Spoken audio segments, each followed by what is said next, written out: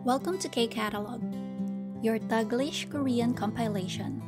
If you're new to this channel, baka gusto mong i-check yung previous lesson natin. Also, you may hit the subscribe button for more videos like this.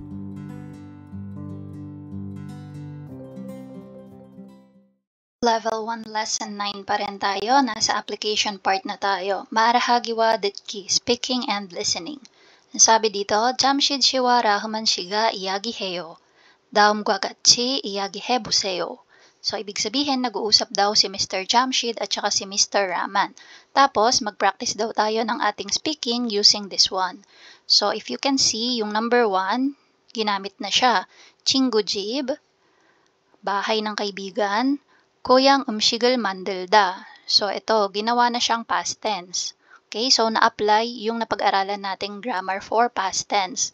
Tapos, dito din, Yongporul Buddha, ginawa siyang Yonghuado Basoyo. So, naging past tense na din siya. And at the same time, na-apply yung ating grammar na myong, myong sa plus do. Okay? So, more on application nga tayo this time. So, yan. Sa number 2, papalitan lang natin So, gagawin natin Jib Kuncho Shikdang. So, Shikdang is restaurant, Jib Kuncho nearby. So, yung restaurant daw na malapit sa bahay. Okay? Tapos, dito pa lang, palitan na rin natin. Chingudurul mannada. Gawin na nating past tense to. Manasoyo. Tapos, dito din, i-apply na natin yung do. So, magiging hangguk umshig. Do. Do tapos ito din magiging past tense na mogossoyo. Okay? So, try muna nating basahin itong original. So, yung ginamit na information sa number 1. So, sabi ni Jamshid, Raman shi, chumare mohessoyo.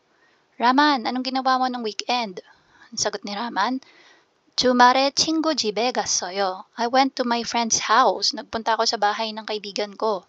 Sagot, uh, tinanong ulit siya ni Jamshid. Kogia Samohes soyo? Chismoso to si Jamshid eh. Ano daw ginawa niya doon? What did you do there? Sagot ni Raman. Kuhyang umshigil mandrosoyo. Yonghwado bassoyo. So, gumawa kami ng ano, pagkain ng ano namin, bansa namin. Okay? Kuhyang umshig kung saan mang bansa galing si Raman. Tapos nanood din kami ng ano, pelikula. So, yun yung sagot niya. Okay? So, tayo din, papalitan natin siya. Number 2 naman yung gagamitin natin. So, balik tayo. 라우만 씨, 주말에 뭐 했어요? 주말 집 근처 식당에 갔어요. 거기에서 뭐 했어요? 친구들을 만났어요. 한국 음식도 먹었어요. Okay? So, ganun lang. So, pag meron kayong kasama na mag, um, pwede kayong mag-practice nitong speaking, palitan kayo ng ano, script, then mas maganda. Okay? Pero pag mag-isa lang kayo, okay na din. At least ma-practice yung pagsasalita nyo. So, sabi dito sa number 2, Yorobunun jinan jumarebo soyo. How about you? What did you do last weekend? Yagihebo seyo. Discuss mo naman daw or sabihin mo naman daw kung anong ginawa mo last weekend. So, yan. May dalawa siyang questions. 주말에 어디에 갔어요? Saan ka daw nagpunta noong weekend? Sagutin natin. So, kunwari ako, nagpunta ako ng park. So, sabihin ko, kung, sorry, 공원, 공원에 갔어요. I went to the park. Tapos, question number two, 거기에서 뭐 했어요? Anong ginawa mo doon? What did you do there? So, sagutin natin, 음, 자전거를 탔어요. Nagbike ako doon. 자, ay sorry, wrong spelling pa. 자전거를 탔어요. So, naka-past tense na yung mga sagot ko, no?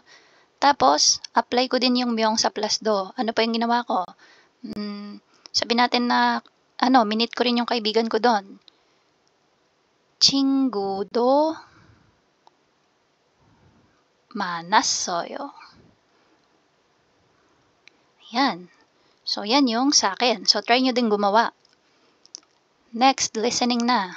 So, sabi, iring shiwa huwen shiga iyagi heyo.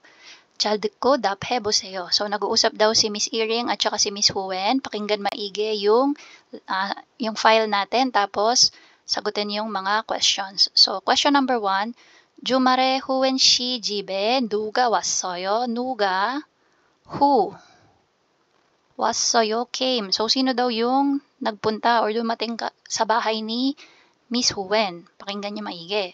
Tapos, Huen shinen muwasul mogos Soyo. So, si Miss Huen daw, ano daw yung kinain niya? Muwasul what? What did she eat? Okay, so papakinggan natin.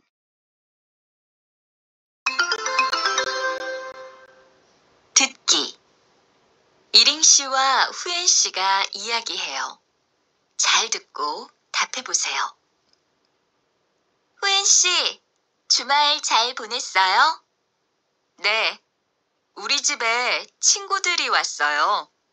그래서 한국 음식을 많이 먹었어요. 그래요? 어떤 음식을 먹었어요? 떡볶이를 먹었어요. 만두도 먹었어요. Ayan, so ito yung mga na-note ko based sa napakinggan natin. So sabi ni Iring, tinatanong niya si Huen, no? Kung ano, Jumal Jalbones sa'yo, so kamusta daw yung kanyang weekend? Na-spend daw ba ng maigi? Tapos sumagot si Huen Shi, sabi niya, nabanggit niya na Chingudri was soyo. So ito na yung magiging sagot natin sa number 1. So, ah, uh, Dug ano yan? 주말에 후엔 씨 집에 누가 왔어요? So, pwede nating isulat na ganito. 후엔 씨 집에 So, 후엔 씨 집에 tapos ito, 친구들이 왔어요. 친구들이 왔어요. Okay, tapos for number two, ano daw yung kinain ni Huwenshi? Yung narinig natin na pangalan ng mga food ay yung tteokbokki at saka mandu. So we can write here, uh, tteokbokki와 만두를 먹었어요. Okay, so pwedeng ganito yung sagot. Or, pwede nating i-apply yung natutunan natin na may do, yung sa plus do. So, pwedeng dalawang sentence yung sagot natin. 떡볶이를 먹었어요. Period. Tapos, ano pa yung kinain niya? Mando. Tapos, kumain din sila ng mando. So, mando So, hindi na drill yung ididikit natin, no? Do naman, do, do, mogos, soyo. Yan, okay? So, it's either ito or ito. So, para mas maganda na na-apply yung napag-aralan natin, pwedeng ito na din yung isagot natin. Ito, tokpo kiril mogos soyo. Mandudo mogos soyo. Ayan. So, that's for our listening. By the way, if gusto nyong balikan yung mga lessons natin for level 1, you can go to our YouTube channel, K-Catalog, and then click nyo lang sa playlists. And then dito siya sa KIIP Korean Language Beginners Level, Level 1-1. So, click nyo lang yan. And nandito sa right side yung mga list ng ating mga previous lessons. So, andito yung mga grammars na natutunan natin and other applications for level 1. And that's it. Again, if you have any questions or suggestion, please do not hesitate to comment down below. And if you find this video helpful, please hit the like, share, and subscribe button. So I still hope to see you in the upcoming videos and again, thanks for watching.